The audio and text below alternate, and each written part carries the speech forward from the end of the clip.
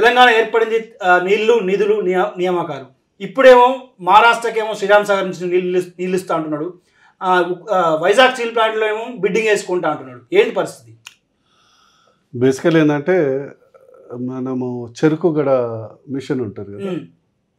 చెరుకు అందులో వేస్తే అందులో రసం అవుతుంది చెరుకు గడ పిప్పి అవుతుంది. ఇప్పుడు ఎనిమిదేళ్ళ కల్వకుంట్ల పాలన తర్వాత తెలంగాణ రాష్ట్రం అనే చెరుకు గడ పిప్పిగా మారింది. సో ఇప్పుడు వారి చూపు అనేది పక్క రాష్ట్రాల మీద పడ్డది. అందులో ఏంటంటే గతంలో ఉద్యమాన్ని అడ్డం పెట్టుకున్నారు. ఇప్పుడు భారతదేశ బా బీఆర్ఎస్ అని లేదో గంగా జమున తహజీబ్ అని ఏదో పదాల నినాదాలు అడ్డం పెట్టుకొని అక్కడ ఉన్నటువంటి సంపదను కొలగొట్టడానికి ఇదొక స్కీమ్. అంత మించి ఏం లేదు. తెలంగాణ ప్రజలందరికీ తెలుసు. అంటే తెలంగాణ రాష్ట్రం ఏర్పడిన తర్వాత కొంత వేల ఎకరాల మందికి ఉన్నటువంటి నిజాం షుగర్ ఫ్యాక్టరీ తెరిపిస్తున్నాడు. అది అది క్లోజ్ అయింది. అదేవిధంగా కమలాపూర్లో రేయాన్స్ ఫ్యాక్టరీ విషయంలో అట్లే ఉంది.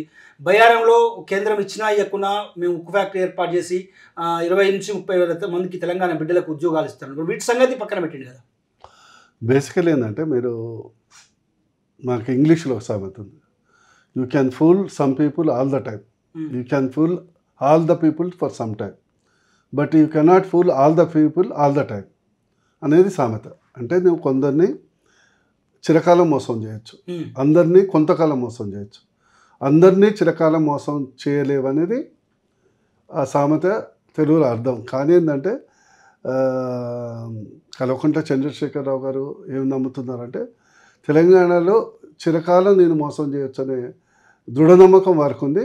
అందులో భాగంగానే ఈరోజు నిజాం షుగర్ ఫ్యాక్టరీ కానీ ఆజంజాయి మిల్స్ కానీ లేదా డిబిఆర్ మిల్స్ కానీ అల్యూమినియం ఫ్యాక్టరీ కానీ హైదరాబాద్లో చుట్టూ ఉన్నటువంటి అనేక ఫ్యాక్టరీ కూడా. ఫ్యాక్టరీ స్టార్ట్ అయితే ఆయనకి లాభం?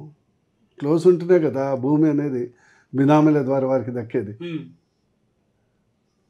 ఇప్పుడు వరంగల్లో తిష్ట వేశారు డిబిఆర్ మీద బినామీలతో టెస్ట్ చేశారు. వారికి కావాల్సింది ఏంటంటే స్వలాభం. పేరు పథకం అంతిమంగా స్వలాభం. ఇప్పుడు వైజాగ్ స్టీల్ ప్లాంట్ అనేది కూడా రెండు రకాలు. చాలా తెలివైన వాళ్ళు కాబట్టి ఒకటి వైజాగ్ స్టీల్ ప్లాంట్ మాది అనేది ఒక అక్కడ ఉన్నటువంటి ప్రాంతవాసుల మనోభావం దాన్ని ఆసరాగా చేసుకొని సింగరేణిని అడ్డుపెట్టి ఇప్పటికే సింగరేణి ఎట్లా ఉందంటే మేడిపండులాగా ఉంది. వేల కోట్ల అప్పులు. దీన్ని అడ్డం పెట్టుకొని ఆ సి- అక్కడ వైజాగ్లో స్టీల్ ప్లాంట్లో ఉన్నటువంటి భూముల మీద మీరు వేసినటువంటి ప్రణాళికనే ఈ యొక్క బిడ్డు అంటే అటు ఓట్లు ఇటు నోట్లు. ఉమ్, అంటే వారి ఏ పథకం వేసినా కూడా ఒక ప్రతి స్కీమ్లో వందల వంద శాతం ఒక స్కామ్ ఉంటుంది. ఆ స్కామ్ అర్థమయ్యే వరకు తెలంగాణ ప్రజలకు ఎనిమిది సంవత్సరాలు పట్టింది. ఇంకా బయట వాళ్ళకి అర్థమయ్యే వరకు ఇంకా కొన్ని సంవత్సరాలు పడుతుంది కదా.